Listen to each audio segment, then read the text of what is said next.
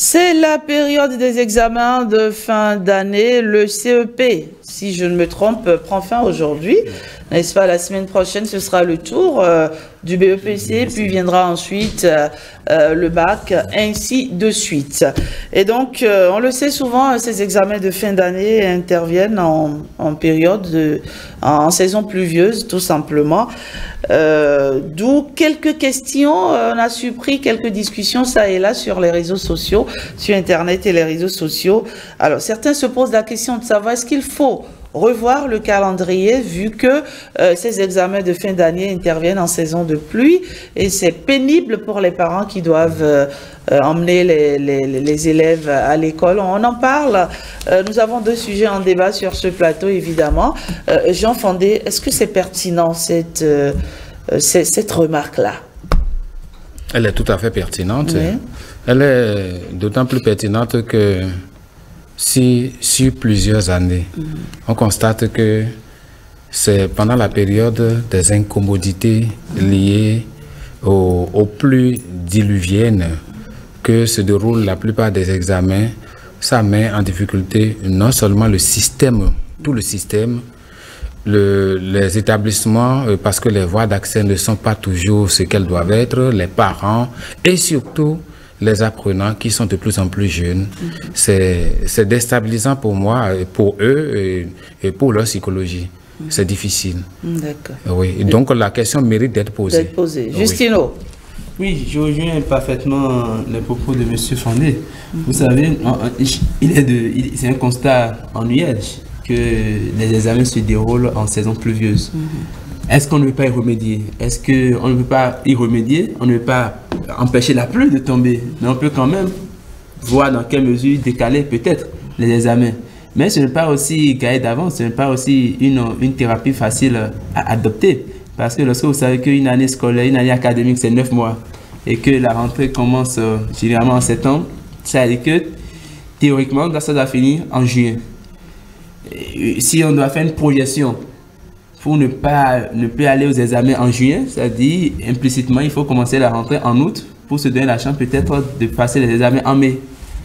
Une telle proposition, quelles sont ses incidences, ses impacts, c'est ça qu'il faut étudier pour peut-être éviter c'est des convenus que nous observons jusque-là. Parce qu'il y a des images, euh, moi, qui, me sont restées là euh, euh, à, ah, l'esprit, c'est cette image d'une mère sur, sur, son, son, sur sa moto avec sa fille, les deux toutes trempées. Je me dis, le débat mérite d'être posé. Patrick Gurso, c'est pas votre avis, vous? C'est mon avis aussi. Je rejoins je, voudrais utiliser l'adverbe que Justine a utilisé. Je rejoins parfaitement M. Fandé. oui. Euh, c'est pénible, très pénible pour un parent de se lever un lundi matin et de se dire mon enfant va à l'examen et de voir le ciel rempli et de, de, de voir tout ce qui a comme trombe d'eau. Et même si le parent prévoit l'imperméable et tout, c'est pas toujours. Euh, ce n'est pas gai, ce n'est pas très gai. Vous imaginez que euh, l'on prévoit tout cela et que le parent ait même euh, d'autres commodités, c'est-à-dire que l'enfant sort de, de l'appartement ou de la maison et entre directement dans, au garage, entre dans le véhicule. Donc, il n'y a pas de goutte d'eau. Il conduit le véhicule jusque dans l'établissement. Il faut qu'il sorte du véhicule pour aller dans la classe. Il a un imperméable. Il sort et malheureusement, il y a une flaque d'eau. Il glisse et il tombe. Qu'est-ce il n'y a rien qui puisse être prévu à 100% pour éviter que l'enfant ne soit trempé je ne dis pas mouillé, pour éviter que l'enfant ne soit trempé, qu'il ne soit eh, dans une incommodité, c'est l'expression utilisée par M. Fandé, pour accéder à la salle d'examen et qu'il ne soit dans l'incommodité pour travailler. Comment faire?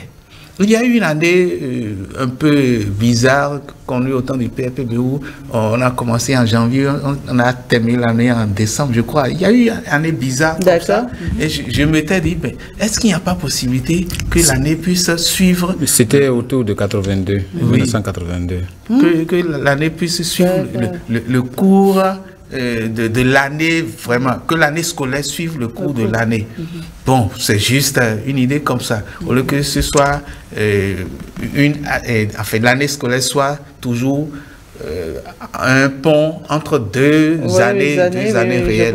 Comment faire? Donc, ce sont des, réflexions qui, qui, viennent. On a oublié de dire l'année 2021, 2022, 2022, 2023. Pourquoi ne pas dire l'année scolaire 2023 Élisée Adjarossi, directeur d'établissement. Vous pensez, qu'est-ce que vous en pensez, vous? Merci beaucoup. Le sujet est pertinent. Et tel que mes prédécesseurs l'ont dit, ça n'est pas une personne, même les surveillants de salle.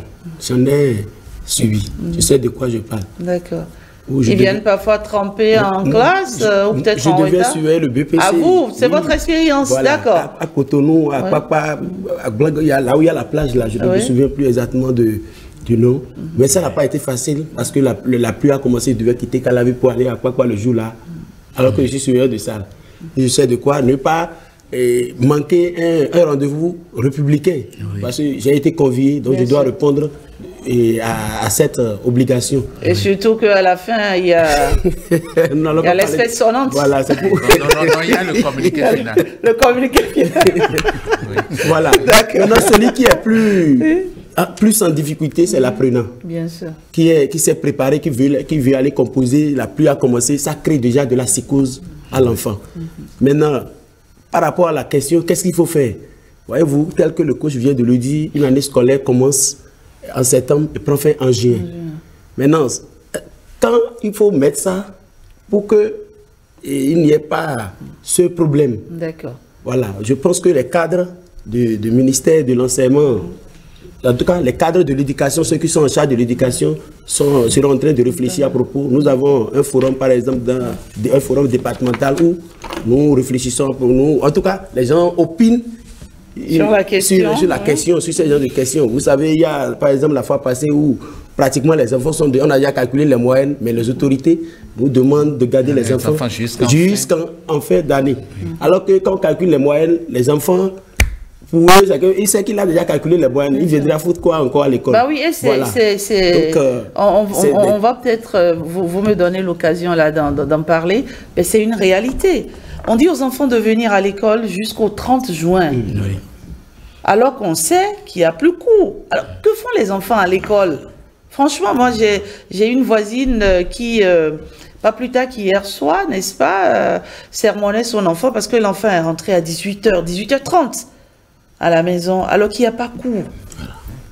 Jean Fandé, c'est pas compréhensible, ça, non? Eh ben, Au fait, je, euh, si on doit se mettre dans une dynamique euh, empathique avec euh, les autorités en charge de l'éducation, c'est que pour être validé, une année académique a besoin d'un certain nombre de temps. Et c'est sur cette base que ça se dit. Vous savez, il y a la loi, l'esprit de la loi. Mm-hmm. il, y a des décisions qui sont prises.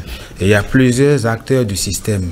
Il me, pense que, il me semble que diplomatiquement, il appartient à chacun de, de savoir jouer sa partition. C'est tout ce que je peux dire. Très bien.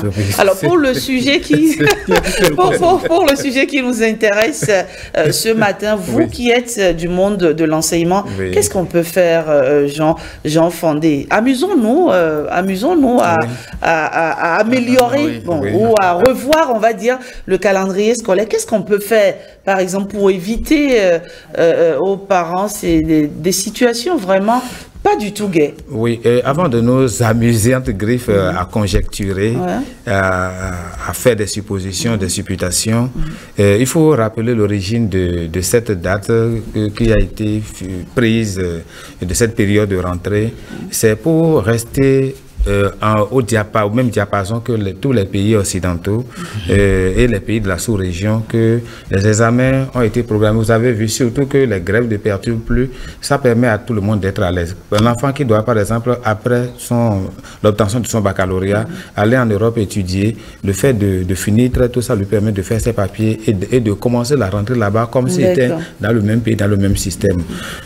J'ai demandé à des amis euh, qui sont au Canada, par exemple, c'est la semaine dernière qu'ils ont fait le BPC. Et donc, pratiquement partout, c'est la même chose. Mais pourquoi eux, ils font ça entre le mois de juin et le mois de juillet, ça correspond à l'été chez eux. Ça veut dire que... C'est les vacances, le, temps est beau. Euh, oui, le temps est beau, donc il n'y a pas de, d'incommodité, il n'y a pas d'éléments gênants, d'opposants à, tous les acteurs de ce système-là. Vous, vous comprenez Mais chez nous, ça ne correspond pas à l'été. Mais lorsque vous prenez le Bénin qui s'étire du sud jusqu'au nord, les saisons également ne sont pas les mêmes partout. Vous allez voir que même la rentrée ne se passe pas de la même façon sur les eaux que sur le reste. C'est-à-dire quand je, je prends Soava et consort, où on sait que la grande crue commence euh, au mois de, euh, à la fin du, mois, autour du 15 septembre. Parce que c'est à ce niveau-là que les grandes eaux du nord descendent au sud pour gonfler nos réceptacles d'eau ici. Alors ça veut dire qu'eux, ils doivent finir pour partir. Et même la rentrée est légèrement perturbée. Pourquoi? Parce que quand on dit septembre, ça ne va pas. Alors, est-ce qu'il faut régionaliser, entre griffes, le, la rentrée au, euh, au pays et trouver une période commune une période où tout le monde est pratiquement à l'aise pour dire c'est pendant cette période que les armées vont se dérouler. je pense que les autorités en charge du monde de, l'éducation et surtout le Conseil national de l'éducation peuvent opiner, sinon peuvent prendre des décisions euh, idoines à ce, à ce propos-là. c'est vrai que quand, on vous entend parler, on se dit euh, c'est pas si simple. Hein? Eh oui, c'est pas si simple, vous voyez, non? Non, c'est pas si simple. Il y a tellement de choses à prendre, à, prendre, en compte. et, quand on prend même les, la formation professionnelle, et au niveau de la formation agricole, par exemple, leur rentrée, c'est différent parce qu'il faut tenir compte des saisons. Donc, il y a un certain nombre de paramètres à prendre en compte. Et comme on le dit souvent, comme le dit La Fontaine, on ne peut pas contenter tout le monde et son père. Et donc, il faut trouver un point, le juste, le juste milieu, euh, et on gère. Le plus important, c'est de, pour moi, pour le moment, c'est de prendre des dispositions pour que les voies d'accès soient assainies, vers les établissements soient assainies, et que les, établissements qui doivent accueillir l'organisation de ces examens-là aussi, que l'État, les, les, partenaires puissent avoir un regard plus, plus, plus attentif sur, sur ces centres. Parce que je vous assure, il y a eu des années où c'est en pleine composition que des salles d'examen ont été inondées, on ne pouvait plus changer de, centre. La fois dernière, on a dû déplacer l'organisation du, BEP, du, CEP dans un établissement secondaire. Pourquoi? Parce que les établissements publics qui, de public euh, euh, primaire qui étaient dans la zone n'étaient plus pratiquement euh, praticable. Oui, praticable. oui. Donc vous voyez, il y a un certain nombre de Mais ce qu'on peut faire, on peut régler le problème par rapport aux voies d'accès vers les centres d'examen et surtout euh, par rapport à ces centres-là qui accueillent euh, par rapport au mobilier, par rapport aux meubles, etc. C'est ce que moi je pense. on va, on va avant de continuer, on va dire, on va dire bonjour et merci à, au maire de Soava, ah André ah, oui. ah, oui, oui, on parle du loup, on voit ça. Bah oui, bonjour. Et on va également euh, dire un gros bonjour à l'honorable Ali Dianatou Sali Warikwa qui nous suit et qui, qui vous envoie un, bonjour, n'est-ce pas? Nos hommages. Euh, nos, hommages honorables. Oui, euh, Élisée Adia aussi, oui? C'est difficile. Parce que tout à l'heure, lorsqu'il il parlait de des acteurs de l'éducation, c'est-à-dire le conseil de l'éducation. Après tout, ils sont aussi des parents d'élèves. Donc, c'est sûr, les gens sont en train de réfléchir sur le sujet. C'est parce que c'est vraiment délicat, et c'est difficile. Mais est-ce qu'on ne peut pas démarrer, par exemple, euh, la rentrée le 1er septembre euh, On démarre le 1er septembre, on est sûr que, je ne sais pas, à fin mai, euh, c'est OK, quoi. Depuis un certain temps, la rentrée, j'ai remarqué que ça commence à partir de, 15. Ouais. Donc 15 et premier, il n'y a pas une grande différence. Deux semaines, c'est pas rien. Hein? c'est pas rien. Justine Viera, c'est. Notons d'abord ah notons d'abord l'effort qui est fait dans l'aménagement du calendrier scolaire. Mm. Comme le disait mon cher ami Adjarossi Élysée, nous constatons depuis quelques années que la rentrée commence mi-septembre. Mais ce n'est pas ça, ce, qui ce à quoi on était habitué. Avant, c'était en octobre.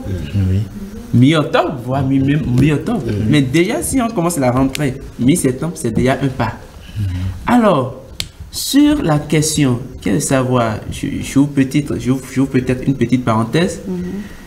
Pourquoi exiger aux établissements de maintenir les enfants mais de rester ouverts jusqu'au 30 juin? Je ne suis pas défenseur de cet arrêté, je n'en sais rien, je ne suis pas dans le secret des dieux. Mais il y a quelque chose que moi j'ai personnellement reproché. Le fait qu'on estime que les privés ont leur calendrier personnel et beaucoup prétestent de ça pour dire moi mes enfants font le privé parce que les privés finissent vite. Sur des citoyens comme tout le monde, il n'y a pas une autorité détachée ou une autorité privée qui s'occupe de l'enseignement privé. C'est tout le même ministère. Au nom de quoi mais le, ministre a dénoncé le fait il y a, il y a, il y a, quelques, quelques, jours. Hein. Euh, oui, et il n'a pas apostrophé hein? seulement les privés. non, non, non, il a parlé du public et du privé. Et du privé. Maintenant, nous, on n'a pas un calendrier à part. On suit le calendrier, c'est l'État. Mais, mais, pourquoi, pourquoi sur le terrain on constate que les privés libèrent très vite les enfants? C'est pas, c'est pas, c'est pas, c'est pas, pas, vrai. C'est un constat. c'est un constat. je connais des établissements. C'est la, on va pas faire euh, dans la langue de bois ici. Hein, c'est la semaine dernière qu'ils ont fait la dernière évaluation. Moi, c'est par exemple l'école dans laquelle va mon enfant, c'est la semaine dernière qu'ils ont fait la dernière évaluation, sans vous mentir.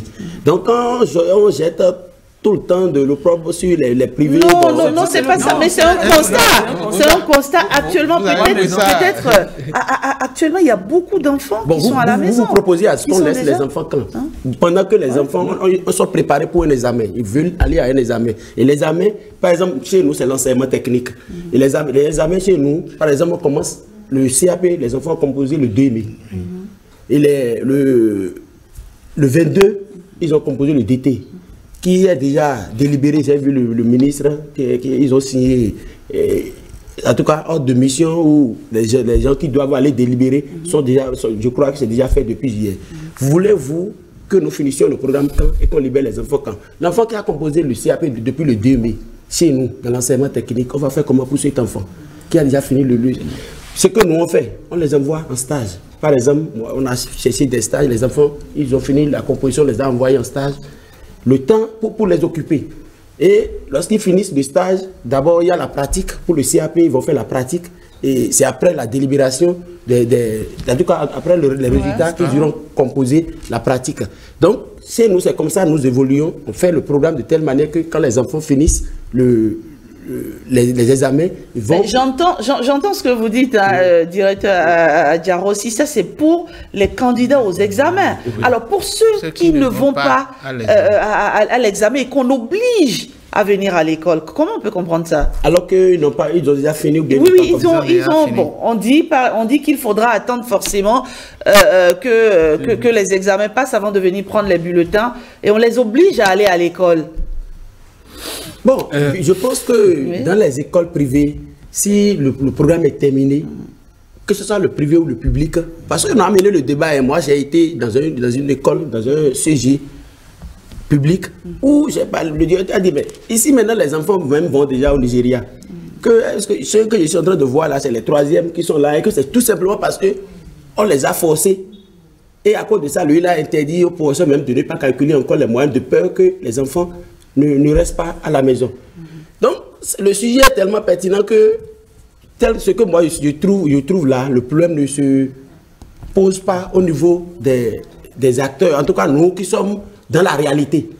Ceux qui sont là, les décideurs, nos, nos, chefs, bon, ils ont leur logique. Moi, j'aurais même préféré que vous les invitez. Moi, ma proposition est sur un plateau pour qu'ils puissent argumenter, appuyer, puisque nous, qui sommes sur le terrain, on constate d'autres difficultés. On, vous, ne faites que suivre. Euh, voilà, parce que nous, les gens ont commencé la, rentrée à, une date donnée. Et le programme est terminé. Les enfants sont évalués.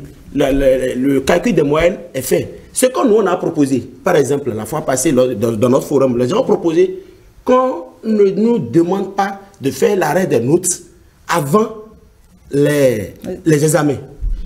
Parce que quand on dit arrêt des notes, c'est qu'il n'y a plus d'évaluation. Vous comprenez? Donc, on ne fait plus arrêt des notes avant les, examens. Les enfants savent que comme il n'y a pas arrêt des notes, l'élève ne connaît pas encore son sort. Il ne sait pas s'il est admis ou pas. Donc il est censé, il est obligé de venir à l'école. Mais lorsqu'on nous demande de faire arrêt des notes, l'enfant sait qu'il n'y a plus d'interrogation, il n'y a pas de chose. Il y a des enfants, vous avez quoi à 8 heures, puisqu'il sait que c'est...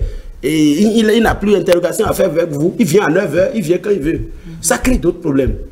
Donc si on peut trouver cette, cette alternative, proposer ça là, et que les arrêts de notes soient faits après les examens, c'est-à-dire on compose le BPC, le bac, et c'est après ça maintenant, une semaine après, on peut dire arrêt des notes.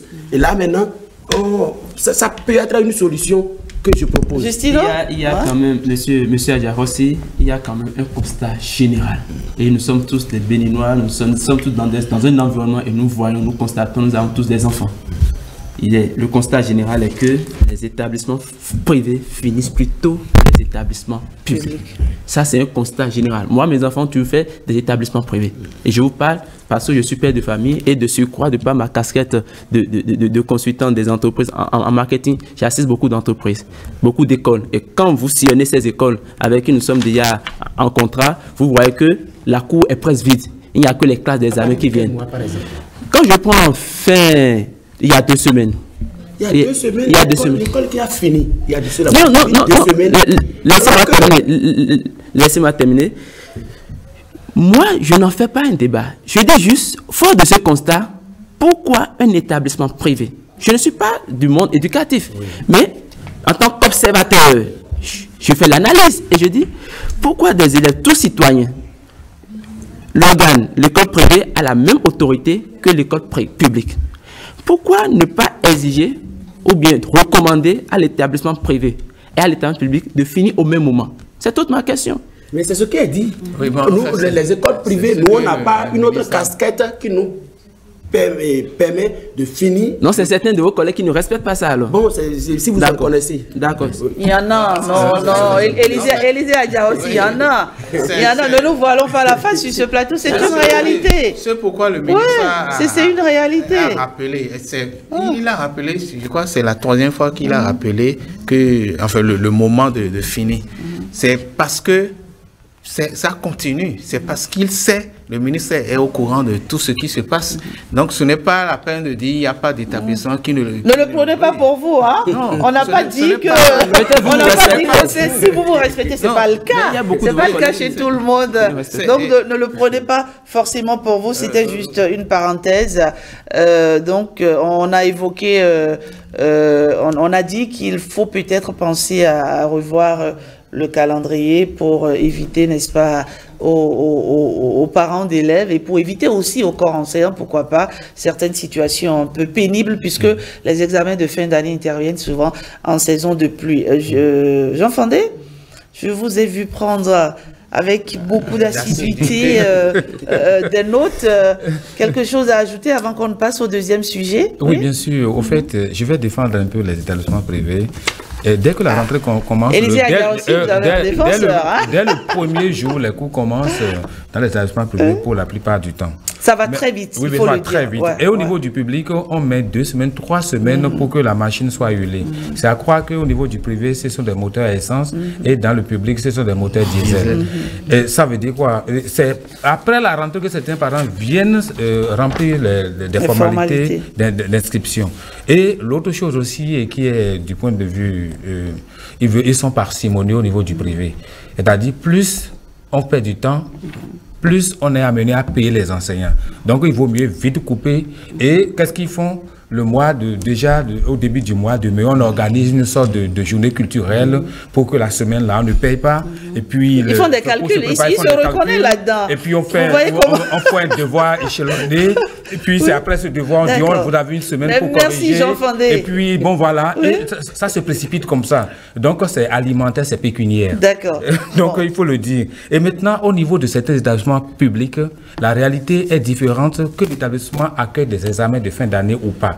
Mhm. Par exemple, si un établissement qui doit accueillir le BEPC, le bac, il faut qu'on fasse tout possible pour vite finir. Mhm. Il y a d'autres qui n'ont pas euh, cette chance ou bien encore... Pour que l'établissement euh, soit disponible, à recevoir, euh, les, candidats. Mhm. Et ensuite, le fait parfois de vite finir l'année arrange beaucoup de candidats débrouillards parce qu'il y en a qui vont faire de petits jobs pendant les vacances pour pouvoir ah, ah. Euh, aider les parents ou bien éviter des désagréments pendant euh, le, déroulement de, l'année scolaire, les renvois, etc. Donc, c'est le, ce qui se passe arrange tout le monde, comme ça, dérange aussi? Ce qui est sûr, quand on est autorité, on, on, tient compte d'un certain nombre de paramètres et il faut savoir siffler le début de la récréation et la fin de la récréation.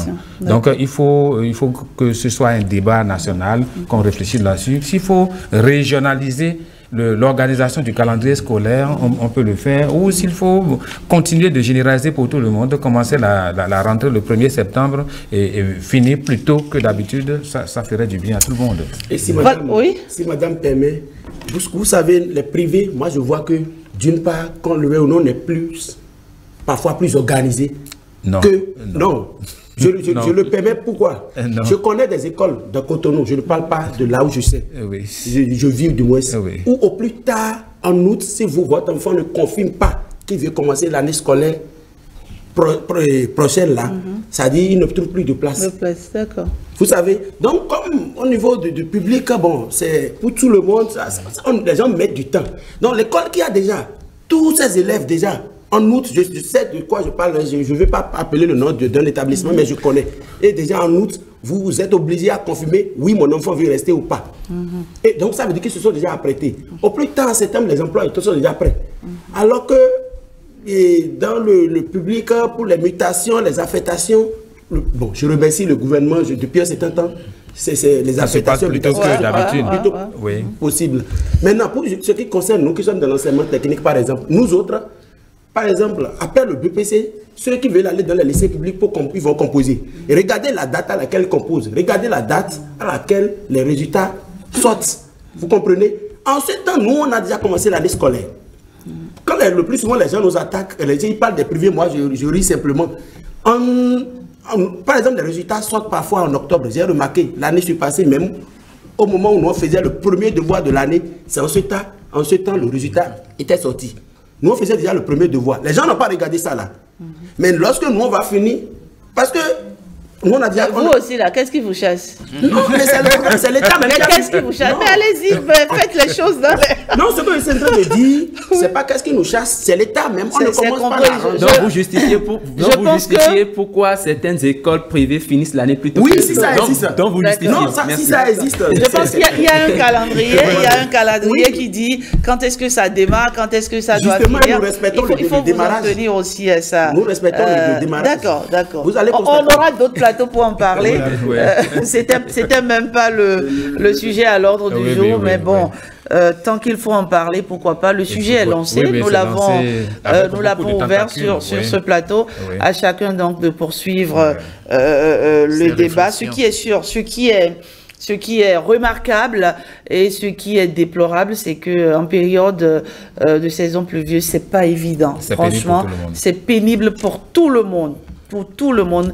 Imaginez euh, un, apprenant euh, qui doit aller composer euh, et qui voilà, qui est mouillé par la pluie, c'est déjà, il est trempé, voilà, il est trempé, voilà, c'est pas beau, voilà, c'est. Ça peut entamer un peu son moral. Voilà. Merci à vous pour ce débat fort euh, intéressant. À présent, on va, on va évoquer le deuxième euh, sujet. Ça parle de l'évaluation basée sur les notes entre pertinence et alternative sérieuse. Et la question qu'on va se poser sur ce plateau est celle-ci. Est-ce que les notes ont toujours révélé le bon et le vrai euh, niveau des apprenants. Justino Vieira, pour que cela soit entendu et compris par tous, c'est quoi l'évaluation par les notes Commençons d'abord mhm. par l'évaluation. Mhm. L'évaluation, c'est simplement le contrôle des connaissances. Mhm. Le contrôle des connaissances, et au terme de ce contrôle, il y a bien entendu un résultat. Lorsque ce résultat se traduit par des notes, on parle alors d'évaluation par les notes. Contrôle de, de connaissances, avec des résultats à thème. Et lorsque ces résultats sont des notes, on parle de contrôle de connaissance et d'évaluation par les notes. Donc, pour répondre à votre question, voilà ce qu'on peut dire. Mais DA, si je dois aller plus loin, entre pertinence et alternative, lorsque ces évaluations sont faites, a priori, ces évaluations portent sur ce qui est enseigné à l'apprenant. Donc, sur des éléments qu'il maîtrise, sur des éléments qui lui ont été enseignés, qu'il connaît il est censé rendre. le but de l'évaluation, c'est de confronter l'élève pour qu'il rende ce qu'il a gardé. En griffe, sa maîtrise des cours qui lui ont été, eh, des notions qui lui ont été transmises ou enseignées. S'il ne rend pas, c'est la note qui est le premier indicateur. Parce qu'il y a des, graduations. Il a une, faible note, une note moyenne, une forte note. Et vous allez voir, cela suit souvent par des petits, des petits commentaires, médiocres, insatisfaits, bien, assez bien, très bien, excellent, ainsi de suite. Et lorsque le résultat n'est pas concluant, ça peut porter à première vue à une baisse de rendement. D'accord, c'est vrai. Mais il faut maintenant aller vers la cause. Et c'est justement ce deuxième point qui n'est pas associé à la réflexion. Ce qui fait que quand on se fie aux notes, euh, quand on se fie aux notes, on dit d'office que il est paresseux, il est fainéant, il n'apprend pas ses cours. Si on se fie aux notes, ça c'est un indicateur de performance. Mais il y a d'autres raisons et il faudrait qu'on associe à l'analyse ces causes.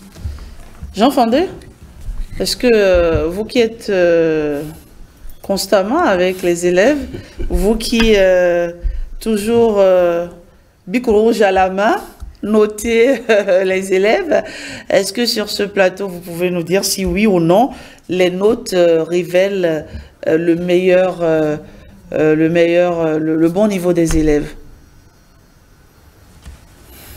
le, bon niveau, je ne, vais pas, je ne peux pas être global. Nous sommes en approche par compétence. Normalement, la compétence qu'on évalue et qu'on doit noter et qui est chiffrée, c'est, je reconnais que depuis le début de l'humanité, du système éducatif, les appréciations chiffrées ont souvent été arbitraires. Parce que celui qui évalue ne peut pas tenir compte des conditions psychologiques, des conditions d'existence de celui qui est évalué. Et si bien que parfois l'élève brillant, un jour, vous lui demandez de, rendre compte d'une situation, peut le faire moins que celui qui a souvent été considéré comme médiocre. Or, la note reçue tient compte juste de la production et non de la personne même, de ses potentialités, de ses capacités, de ses pertinences. Et donc, les notes ne peuvent pas révéler tout le potentiel de l'individu. Lorsque vous, vous, êtes par exemple dans une école de football et que vous faites une évaluation théorique sur euh, le, foot et que le, candidat ne, rend pas bien, vous le jugez médiocre, alors que sur le terrain il est plus productif, plus, plus, plus pragmatique que les autres, vous voyez que votre évaluation sur ce plan-là a biaisé. Ce qui signifie quoi? Ce qui signifie que l'humanité entière, le système éducatif s'entend, excusez, pour arrêter un certain nombre de choses. Dans beaucoup de pays, on ne, on ne tient compte plus, on ne tient compte plus absolument rien que des évaluations chiffrées. il y a des psychologues, il y a des, des, des, enseignants spécialisés qui statuent sur le cas de chaque enfant. Si, par exemple, je donne mon cas, si je devais suivre les évaluations chiffrées, je serais peut-être en train de passer le bac jusqu'à aujourd'hui. Pourquoi Ah oui, pourquoi euh, Pourquoi justement? Parce que au moment où j'étais en troisième, le passage en seconde, on m'a mis en seconde D. Moi, j'aimais bien entendu la biologie. Et je sais combien ça a été difficile pour moi d'avoir 7 en PCT, en physique, et combien ça a été vraiment difficile pour moi de, réunir 8 en mathématiques. C'est parce qu'il y a eu deux interrogations que j'ai exploitées pour faire monter un peu moyenne. Donc, on estime qu'avec 13 ans en SVT, euh, en biologie, donc il peut faire la D. Or, la D ne fait pas que, que ça. Mhm. Je suis allé voir le censeur à l'époque pour lui dire, et monsieur le censeur, je ne peux pas faire la, D. Et dit, mais les professeurs spécialisés, sur la base de tels résultats, estiment que c'est la série que tu dois faire, tu ne peux pas contester. Le, si tu contestes, prends ton dossier et va ailleurs. Sérieusement? Sérieusement. Alors, j'ai dit merci. L'établissement était tout proche de la maison. Je suis allé prendre l'argent. Je suis allé en attendant, j'ai dit, je suis en L1. Et on a, je suis allé m'asseoir en L1. Et chaque fois un professeur vient, je, je monte. C'est bien après, on était au milieu du, du second semestre avant que l'administration ne s'en rende compte. On m'a ah, traité de tous les noms, mais c'est ça qui m'a sauvé.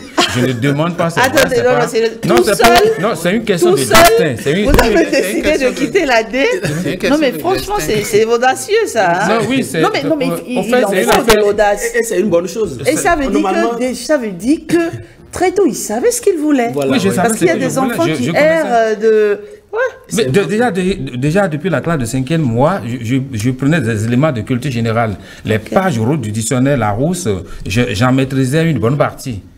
Et, et avec... Non, PCT, chimie. non, je, savais que à Bobo, là, c'est azote, c'est tout. celle-là, c'est Nacle, puis c'est tout, mais combiné pour. Sacré je ne pouvais pas m'en sortir. Je ne pouvais pas m'en sortir. Donc, c'est une affaire de destin. Voilà. J'ai eu un destin, je dirais, parallèle. Donc, moi, j'étais très matheux. En PCT, c'est bon, c'était pas médiocre.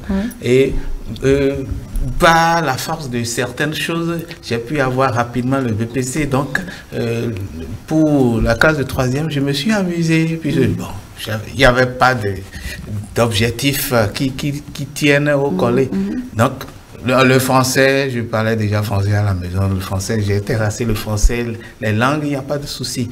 Mais en, négligeant un peu les mathématiques de la classe de troisième, à la fin, on m'a orienté en série littéraire.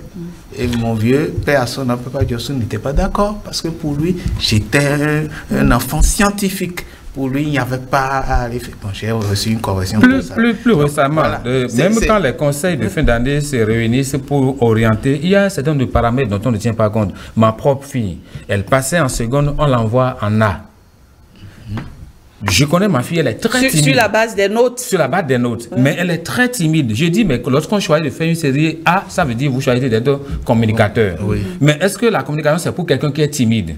Quelqu'un qui a beaucoup de réserves J'ai dit non elle va faire la G2 parce que ce tempérament convient à ceux qui doivent manipuler les chiffres, de, surtout la, comptabilité. Un comptable, on n'a pas besoin qu'il tienne du bon discours, mais qu'il soit efficace. Et j'ai dit, tu peux faire le bac euh, mille fois. Mais elle n'a pas redoublé. Elle a fait euh, son bac avec mention assez bien. Mhm. Donc vous voyez, si on doit tenir compte des, chiffres pour euh, apprécier tout, il faut que l'humanité s'arrête sur certaines choses, c'est normal. Mais il faut aussi aller cas par cas. Vous voyez mon, propre exemple, l'exemple qu'il a donné et l'exemple de, de, ma fille. Elle est timide. non, elle ne peut pas. Elle va faire quoi? Elle va écrire comment ou bien parler comment? Est-ce que c'est n'importe qui qui peut être journaliste Oui, mais c'est parce que vous, vous êtes un parent, un parent, on va dire, euh, averti, responsable. Mais qui m'avait averti si je suis au bah départ, si j'étais issu, alors que je suis issu d'une famille complètement analphabète, bah, bah, personne ne pouvait décider pour moi. Bien sûr, bien sûr. Non, mais en cela, vous avez du mérite, il faut le dire. Et c'est ce que nous voulons aujourd'hui, que la jeunesse euh, sache ce qu'elle veut. Les jeunes doivent savoir ce qu'ils veulent. C'est impensable, en tout cas à l'ère du, du 21e siècle, de voir euh, euh, un, élève en classe de troisième qui ne sait pas ce qu'il veut. Si, si, ça sort de l'entendement. C'est vrai qu'il faut orienter les enfants selon le, le, le, le, profil, leur, leur, leur, potentiel. Mais vous avez eu, vous avez, vous avez du mérite parce que très tôt vous avez su tracer votre chemin, mais ce n'est pas le cas de, de, de, de plusieurs jeunes, de plusieurs parents qui, euh, dès lors que l'enfant vient leur dire, ben, écoutez, je veux faire telle série, tout de suite, euh, on laisse l'enfant y aller. Alors, Élisée aussi, les notes comptent-elles pour vous dans l'évaluation d'un enfant? Bon, d'abord, si vous permettez, mm. je veux aborder le, le sujet tel que les, par, qu'il a donné tout à l'heure. Par exemple, moi, moi classé en, en A. Et moi, je voulais la D. Bah, finalement, ça, c'est un sujet. C'est un sujet de débat, ça. on, va, on, va, revenir là-dessus. Non, je travaillais, que... je travaillais en SVT. Et l'actuelle, euh, elle m'avait gardé mm -hmm. député. Elle s'appelle Tossa Edwige. D'accord. Donc elle-même, elle disait, parce qu'elle est professeure d'SVT, mm elle voyait que je me. J'étais bon voilà, en SVT. En SVT. Moi-même, j'ai fait une semaine, elle dit, c'est là, je vais rester là, que je ne vais, pas, je vais pas reprendre, les, je ne vais pas commencer l'année scolaire. je vais essayer le censeur chaque jour. Il m'a dit, bon, d'accord, si tu veux vraiment revenir en D, là, il faut écrire un engagement. D'accord. Bon, vais essayer. Je suis allé voir une dame pour poser le problème, il m'a dit, reste là où on t'a mis. Et je pense qu'ils ne se sont pas trompés. Sinon, je n'étais pas bon en maths et en physique. Mais si c'est SVT là, j'aimais cette matière-là. Donc, d'une part, les gens font erreur, mais aussi, Parfois, ils font aussi des choses de façon... Parce que les matières littéraires, anglais, français, SVT, mm. l'histoire géo, là, c'était bon là, sauf maths et, physique. Voilà. Bon, parlons de l'évaluation. Vous savez, il y a ce qu'on appelle l'évaluation formative et l'évaluation sommative. L'évaluation formative, c'est pour juger le niveau de l'apprenant, voir son niveau par rapport à la notion enseignée. Pareil, je donne un exemple. L'enseignant vient au cours, il dit, bon, quelqu'un, rappelez-moi ce que nous avions vu la fois dernière. C'est une évaluation euh, formative, mais orale. Il peut venir aussi pour dire, prenez une feuille et il met les questions au tableau et les enfants, ils vont, ils vont répondre. Dans ce cas, il peut, l'appréciation sera faite quand l'enseignant sera à la maison. Parce que le plus souvent, le temps ne permet pas aux enseignants de pouvoir eh, questionner tous les apprenants avant de démarrer leur cours. Mais pour l'évaluation eh, sommative, je pense que eh, les notes, le plus souvent, révèlent le niveau des apprenants. Mhm. Parce que l'enseignant a fait son cours. Il a fait son cours, il sait dans quelles conditions le cours est fait. Il, il a donné des, des exercices d'application.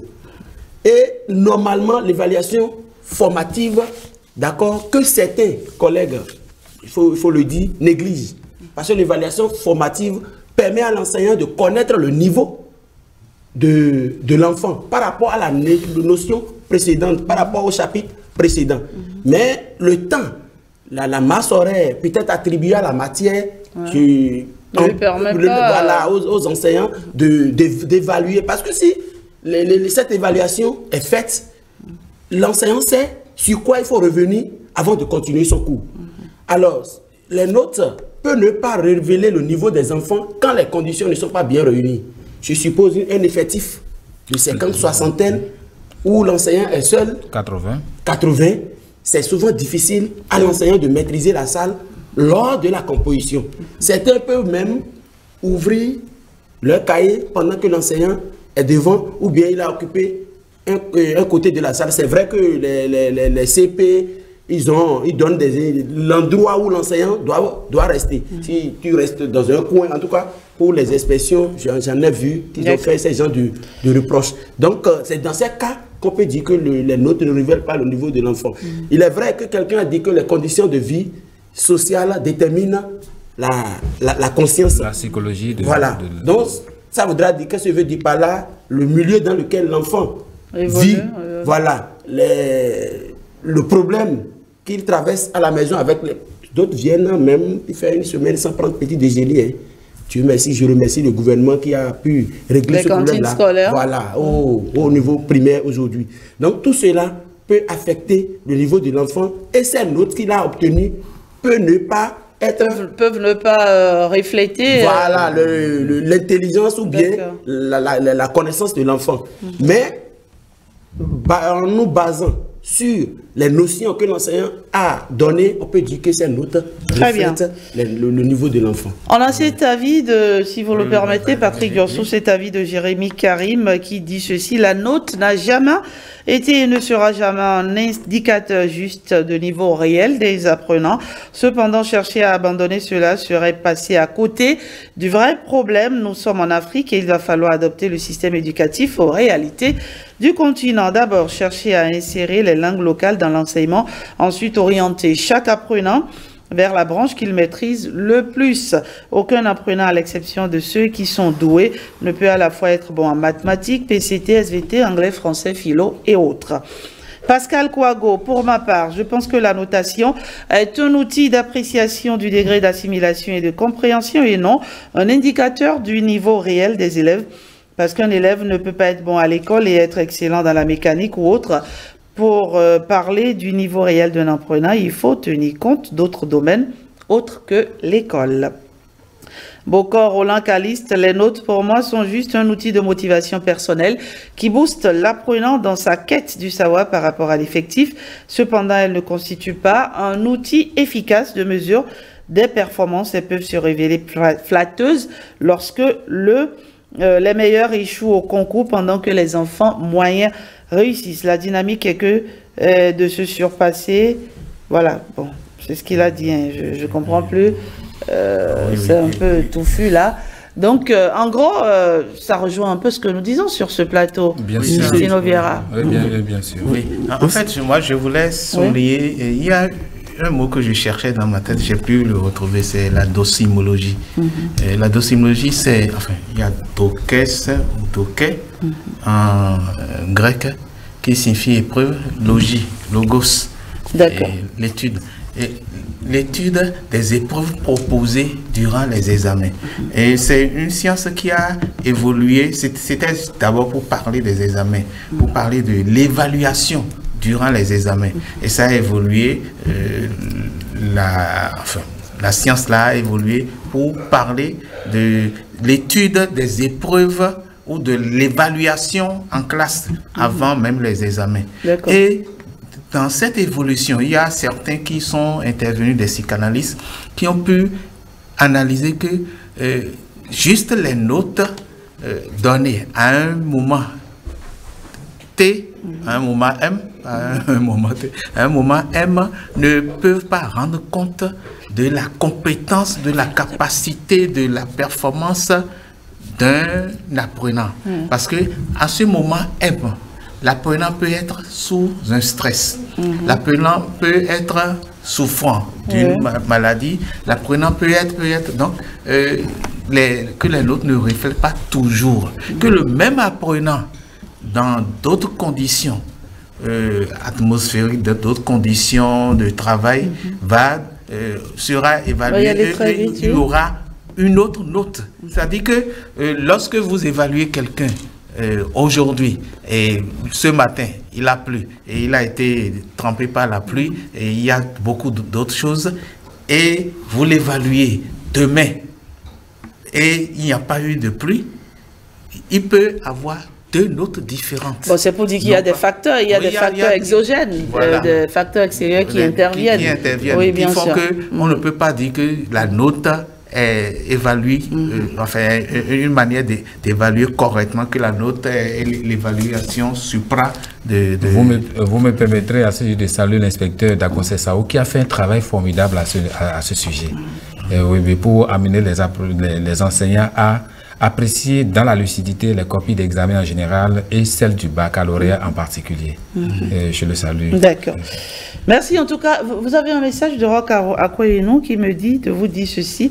Au-delà des raisons évoquées, euh, il y a le fait que les promoteurs d'écoles veuillent libérer un peu plus tôt les enseignants pour ne pas avoir leur payer encore un mois de salaire. C'est ce que Fandé a dit. Donc, c'est pour revenir sur, sur l'autre sujet. Il y a un petit élément important sur lequel j'y tiens quand même.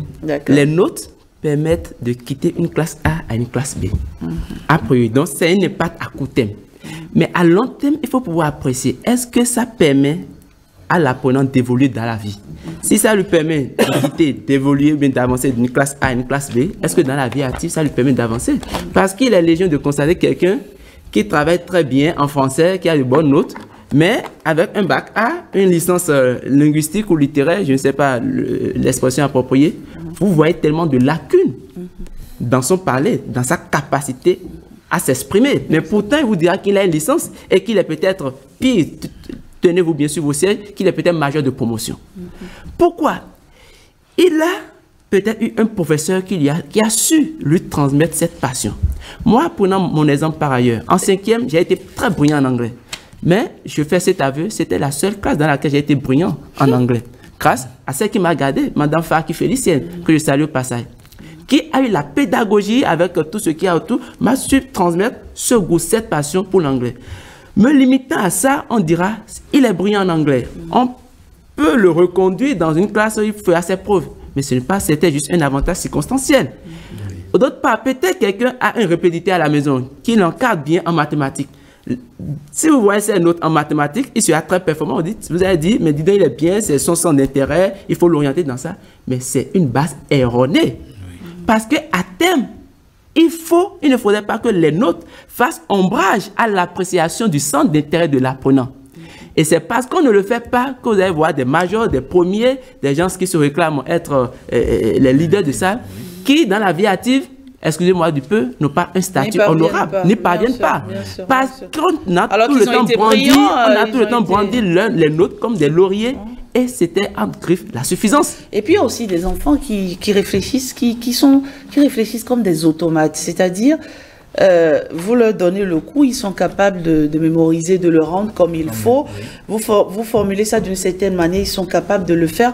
Mais dès lors que vous transformez un tout petit peu, ils se perdent. Ils se perdent tout simplement. Oui, il y a des enfants comme Mécaniquement, ça. lui, il a gardé ça comme il a gardé ça comme ça. Donc, du coup, euh, toute autre formule... Euh, le, le, le, le, déstabilise. Donc, on a dit évaluation basée sur les notes entre pertinence et alternative.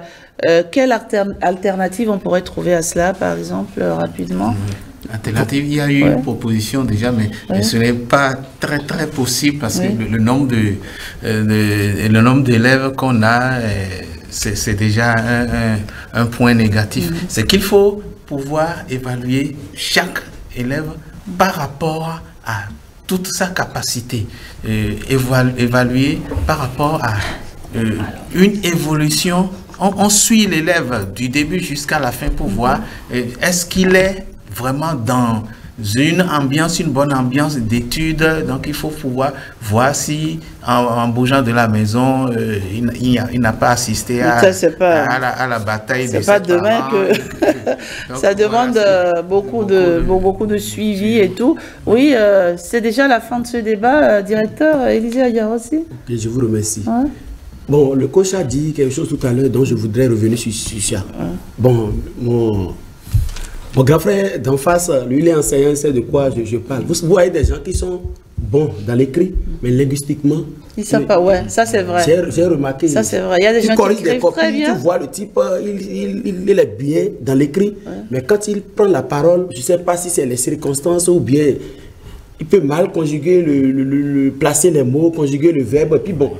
il y a le contraire aussi, des gens qui s'expriment bien, mais quand ils prennent le bic, quand ils tiennent le bic, c'est pas possible. C'est une catastrophe. voilà, donc euh, pour, sur cet aspect, bon, vraiment, je ne sais pas comment cela peut s'expliquer. Quelqu'un qui écrit bien, mais qui parle mal, ou bien qui parle mal, mais qui écrit, qui écrit... Qui parle bien, mais qui écrit mal. Qui écrit mal, voilà. Voilà, sur cet aspect, vraiment, je ne sais pas, si je n'ai pas l'habilité, je ne sais pas ce qui peut justifier cela. Mais sur le sujet, moi, je vois le sujet sur un, autre angle. Le problème des enfants, c'est le problème d'orientation. Les enfants qui ne travaillent pas, c'est-à-dire, le sujet, c'est le, problème des nôtres. Je pense que c'est le problème d'orientation. Parce que les enfants, ce n'est pas qu'ils ne sont pas intelligents et qu'ils ne peuvent pas travailler, mis à part le fait qu'on a parlé des conditions de vie, les circonstances qui peuvent amener, mais c'est pour que les parents aient une bonne rentabilité, c'est-à-dire qu'ils atteignent leurs objectifs par rapport à leurs enfants aujourd'hui, qu'ils nous orientent mieux les enfants. Puis, par exemple, je donne un exemple chez moi. J'ai un élève qui avait fait la ML dans un CG public qui est venu chez moi et dit qu'il veut faire génie civil. Alors que pour génie civil, il faut faire la physique, il faut faire la mathématique et plus euh, encore, c'est les, matières qui Vous savez, c'est déjà fini pour ce débat. Cet enfant est allé à l'examen aussi après l'année dernière et il fait partie des meilleurs, pas sur le plan national, mais les meilleurs des enfants que nous on a présentés. Comment vous pouvez comprendre ça là? Alors que ML, c'est soit espagnol, soit c'est allemand. Merci à vous, messieurs. C'est déjà fini pour ce débat. Je vous remercie d'être passé. Il y a mon cher, euh, mon jeune frère, hein, Blaise Adampo, reporter sportif de son état qui s'impatiente de l'autre côté. L'actualité sportive, ça compte aussi sur 5 sur 7 matin. Merci Jean-Fandé. bon retour à la maison. Merci. Justino Viera. à jeudi prochain. Euh, Pat, on se retrouve euh, pour le quotidien. On se retrouve euh, tout à l'heure à la rédaction. Directeur Elidia aussi. À très vite sur ce plateau. Merci pour votre invitation. Mhm. Merci pour tout. Même si aujourd'hui, là, vous étiez un peu chaud, là. Hein. Allez, place au sport avec Blaise Adampo.